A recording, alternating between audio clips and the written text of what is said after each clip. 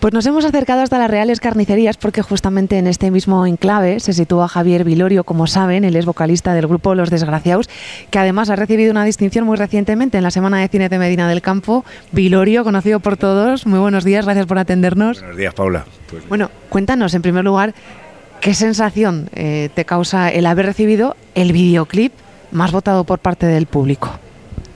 Pues esto como un poco como todo te quedas un poco ojiplático, porque es que no, no, no, te lo esperas, como todas las canciones y toda la, todo lo que, lo que conlleva la canción, no te lo esperas. Y esto, pues es otra cosa, te quedas como si no hubiera pasado nada, con mucha emoción, pero como si no hubiera pasado nada, de verdad, ¿eh? lo digo en serio. Es una cosa muy, muy particular, no, no tienes no tienes la sensación de que, de que sea tan grande. Me imagino que con el tiempo, bueno, de hecho ya después de dormir y eso parece que te das un poco más de cuenta, ¿no? Pero vamos. Además hay que volver a insistir en que el premio, el reconocimiento, os lo ha dado el público, no cualquier persona, sino todo el público que ha decidido votar precisamente esta pieza. Un sabor especial. Sí, desde luego. Es un. Hombre, la verdad es que los coches chocones está donde está por el público y, así sigue siendo. Vamos, nosotros no hemos hecho más que la canción y la canción se ha movido siempre a sus anchas entre la gente y es por el gusto de la gente y lo que le ha gustado. Y claro, esto, las votaciones, sigue siendo lo mismo. O sea, ha ganado por mayoría absoluta vosotros los que habéis votado, porque nosotros solo hemos hecho un vídeo, que está bien, porque el director es muy bueno y ha hecho un pedazo de vídeo, pero la gente le ha dado la vida, como lo ha hecho desde que empezó la canción, vamos. ¿Cómo fue aquel proceso en el que disteis comienzo a la grabación del videoclip de Los Coches Chocones? Pues bueno, lo, se lo comentaron a Fernando. Fernando es el otro autor de, Los Coches Chocones y de las canciones de Los Desgraciados, de todas. Y pues empezó Marco Leonato, que es amigo nuestro desde hace muchos años. Eh, es un realizador de cortos y de videoclips y dijo, hombre, pues tendremos que hacer algún día los coches chocones. Y el vídeo de los coches chocones, claro, la gente pues siempre ha estado esperándolo. Nosotros como buenos desgraciados no hemos hecho nada nunca, pero sabíamos que Marco se, maneja muy bien con este tipo de, historias y sabíamos que iba a hacer un buen trabajo y no lo pensamos más. Quedamos un par de días y, bueno, como la tenemos tan metida la canción, pues como dice Marco, sale, salió todo bastante rodado. Y como rodado, como ha ido siempre la canción, también la presentamos, salió rodado, nos cogieron y la gente votó lo único que costó mucho votar, porque era un poco complicadete, pero, pero la gente, vamos, encantada. Un videoclip recién estrenado, pero ¿hasta dónde nos tenemos que remontar para conocer los orígenes de la canción de los coches chocones? Pues la canción de los coches chocones la acabamos en el 2004. Fue una cosa de, no sé, tres, cuatro meses como mucho.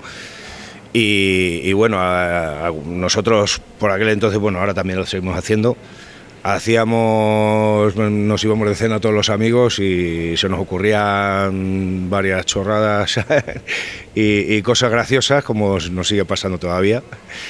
Y de ahí salió, salió la canción, la rematamos. Eh, Fernando, como siempre, eh, con, el, con los ordenadores hizo la música, yo la letra con ayuda de más gente y tal. Y la acabamos y bueno, la canción empezó a a vagar por ahí hasta que, hasta que empieza la gente, vamos, gustos desde el principio ha gustado.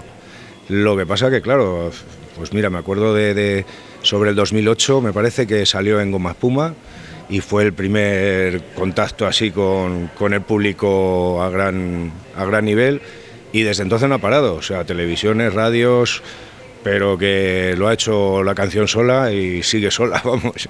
Nosotros lo que hacemos es cantarla e interpretarla lo mejor posible, eso sí.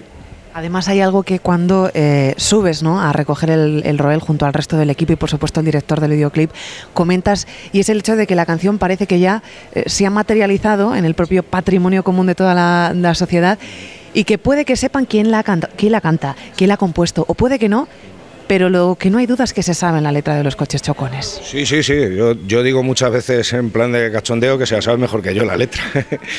pero sí, sí, la, canción es. Eh, la gente la tiene dentro, ¿sabes? Es como, no sé, eh, todos ahora, la gente más mayor como nosotros, pues a lo mejor lo has escuchado en menos ocasiones, vamos, no en menos ocasiones, sino en menos momentos mm, concretos de tu vida, ¿no? Pero los chavales, o sea, la tienen como, va a ser el recuerdo de su vida toda la vida, ¿no? Fiestas que, que han tenido, pum, los coches chocones y una fiesta jajaja y, y son cosas que se te quedan grabadas que a nosotros también, pero, pero claro, es, para ellos es como como una de las canciones de su vida, ¿no? Y son millones de personas, es que no sé cómo, cómo plantearlo, ¿no? Pues estamos aquí vendiendo verdura, pero son millones de personas los que, los que conocen la canción esa que ha salido de, de nuestras cabezas, ¿no? de, nuestras ganas de, disfrutar la vida y, y de tener una vida un poco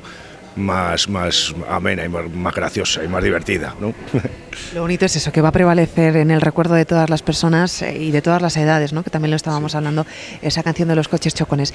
Puede que sea estos últimos años, eh, Vilorio, de los mejores para el grupo de los desgraciados. ¿Cómo ha sido la evolución que habéis llevado hasta, hasta llegar a nuestros días? La verdad es que mm, todo, toda, todo el grupo, la base es, es esta canción, porque nosotros jamás hubiéramos hecho un grupo. O sea, nosotros hacíamos canciones, eh, salió un poco de, la historia de hacer una canción del verano, como, hacían nuestros, nuestros héroes, que para nosotros en plan de cachondeo, aunque viene a ser verdad, era Jordi Dan. Y lo de hacer una canción en verano, para el verano, la hacíamos, aunque no nos conociera nada, nosotros hacíamos una canción del verano, ¿no? Era muy gracioso. Pero la canción esta empezó a crecer, a crecer, a crecer y de hecho hicimos, mm, hicimos pues claro, algo para, presentar, para poder, para poder tenerlo al público y, hicimos hasta un musical de Los Desgraciados que no funcionó porque vino ahí la crisis y se quedó un poco a medias. Y ya pasaba el tiempo y, y, después de hacer muchas cosas y bueno, nosotros nos hemos dedicado a, en modo hobby a la música siempre. Y claro, ya eh, dijimos, digo Fernando, tenemos que hacer un grupo, vamos a intentarlo porque la canción va a seguir, o lo intentamos y hacemos. Y llevamos cinco o seis años ahí con el grupo y la verdad es que nos está dando muchas alegrías porque, porque es muy curioso cuando te pasas la vida buscando bolos y ahora los bolos te llaman a ti, ¿sabes? y es todo por la canción, por los coches chocones, la verdad es que tenemos que agradecerle mucho. Pero que no se nos olvide que también hay muchos más temas en Los Desgraciados. Sí, sí, sí, no, es que la, canción está, está, vamos, por encima de, bien y de mal, eh, la conoce todo el mundo, pero hay canciones, mm, bueno, no voy a decir mejores, para mí hay alguna que, va por ahí, incluso algo más. ¿De qué canción estamos hablando? ¿Cuál es tu favorita, Vilorio? La mía es la de Fiesta, es mi canción favorita. Pero vamos, yo pondría Los coches chocones y El terrateniente del amor a la misma altura. ¿eh? Pero mm, tienen todas muy buen nivel. ¿eh? Para pasar fiestas, vamos, divina. Terrateniente del Amor, que la analizó el propio Carlos Herrera. Efectivamente, y bien analizada, la verdad. Porque es que además es muy gracioso, porque Fernando y yo hemos sido agricultores, hijos de agricultores toda la vida. Y claro, tenía un, teníamos un algo mm, muy completito. Y fue muy divertido, pues salió, estábamos Fernando y yo haciendo la letra allí, ya teníamos la música y esa fue de las pocas que, hicimos la letra in situ. Según grabábamos, hacíamos la letra.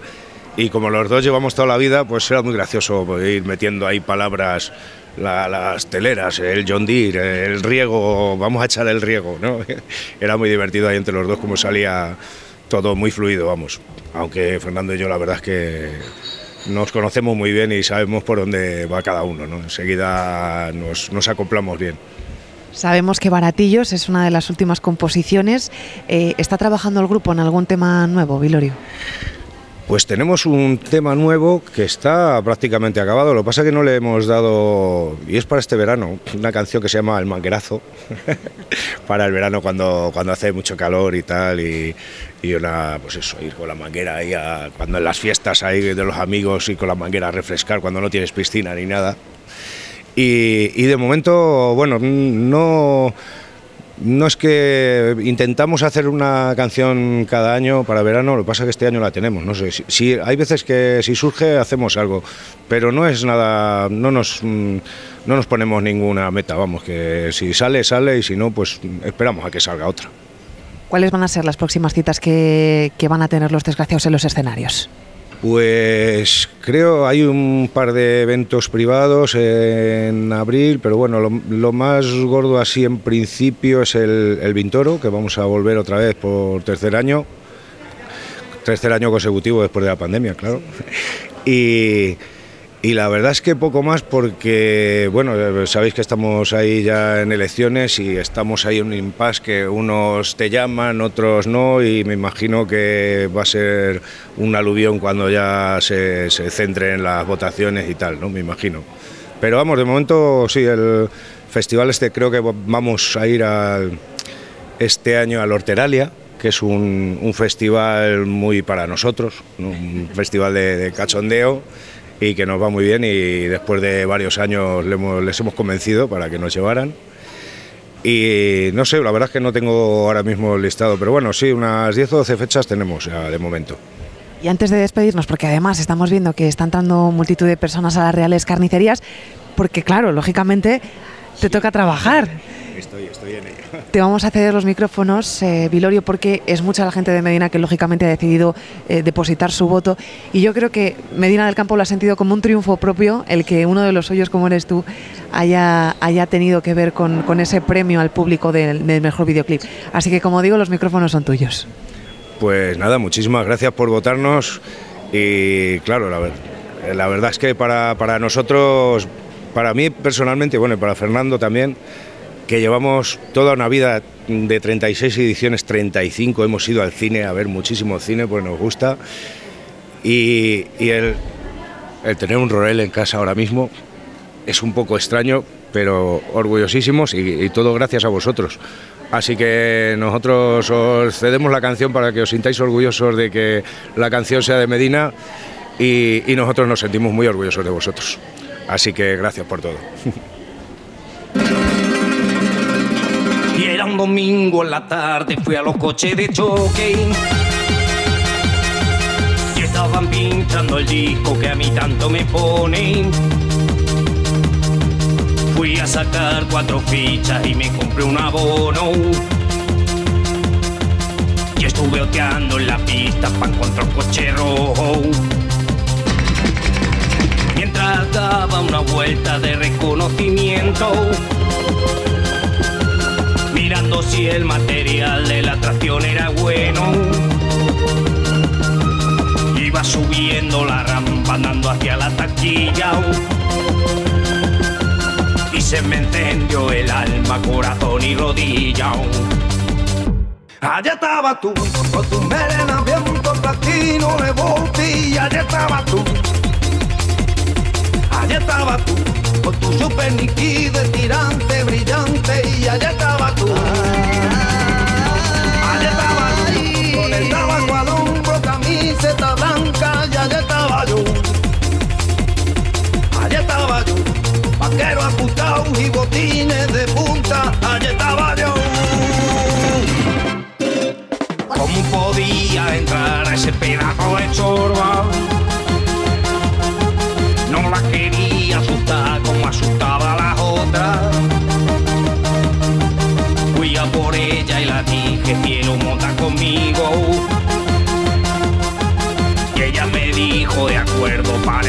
Buen chico. No la miraba a los ojos, pues me daba vergüenza. Ni la podía mirar directamente a la teta. Así empecé a chocar violentamente a los otros. Y ella se sujetó fuerte a mi brazo y a mi hombro. Allá estaba tú, con tu melena viento platino de voltilla, allá estaba tú. Allá estaba tú, con tu super nítido, tirante, brillante, y allá estaba tú.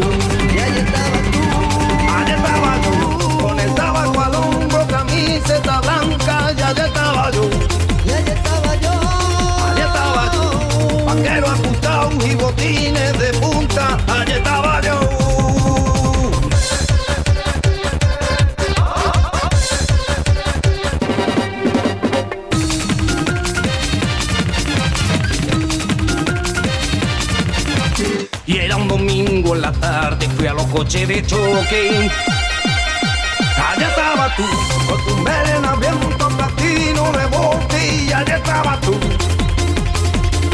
Allá estabas tú, con tu super nitidez tirante brillante y allá estabas tú.